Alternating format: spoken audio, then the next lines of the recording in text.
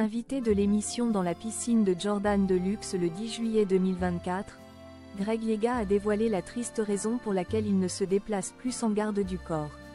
Le candidat des Marseillais s'estime vivre dans la peur. L'heure était à la confidence pour Greg Yega. Invité de l'émission dans la piscine de Jordan Deluxe le 10 juillet 2024, le candidat de télé-réalité a accepté de revenir sur une période difficile de sa vie. Face à l'animateur, il a ainsi raconté des anecdotes sur les quatre braquages qu'il a vécus et qui lui ont fait changer sa façon de vivre. Comme il l'a confié, depuis ces épisodes traumatisants, il ne se déplace plus sans garde du corps. Je n'aille pas une sécurité pour faire la star mais parce que j'ai peur, je ne me sens pas en sécurité. Je sors sans garde du corps quand je suis avec mes collègues parce que je sais qu'ils peuvent me défendre mais sinon tout peut arriver a-t-il avoué.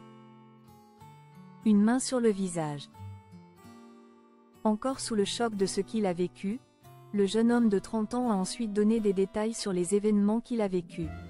Le plus dur c'est quand ils sont rentrés chez moi, on ne voit ça que dans un film. Je dormais dans mon lit avec mon ex Mélanie. À l'époque j'y habitais avec Paga et il avait les clés. À un moment j'entends un bruit mais je me dis que c'est lui. Je me retourne et là d'un coup j'ai une main sur le visage qui me dit de ne pas bouger. Je sens un truc là.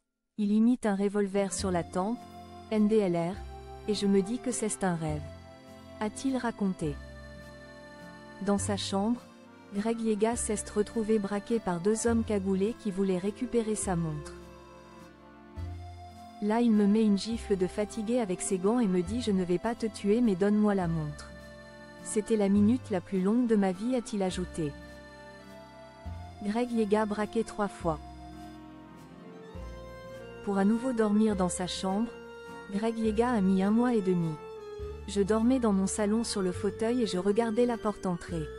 Et tous les bruits qu'il y avait je me réveillais en sursaut. A-t-il confié. Après cet épisode, il a été cambriolé trois fois. La deuxième fois c'était pendant les émeutes. Je sortais de chez moi en scooter pour aller au supermarché.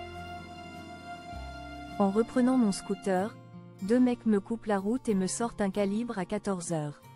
Je me suis cru dans GTA. Il voulait ma montre. A-t-il fait savoir?